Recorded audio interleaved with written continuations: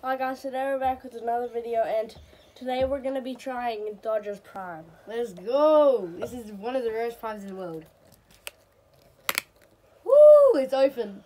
I'll try it first. How is it? Right, rate it, rate it. Yeah, rate it 1 through 10.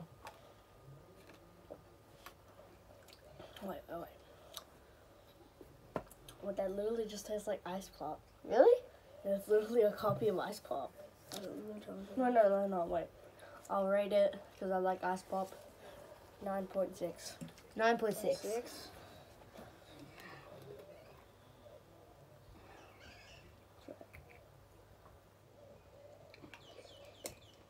It really tastes like ice pop.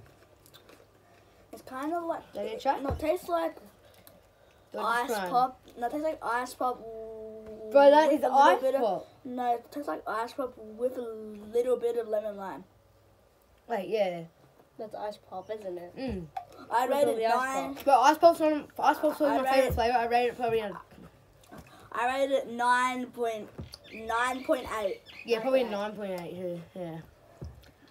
Make sure you subscribe to Essa's channel. Trying to get to a, thou- to a thousand subscribers. Okay. Okay, so we just tried Dodgers Prime, and we'll see you next time. Oh,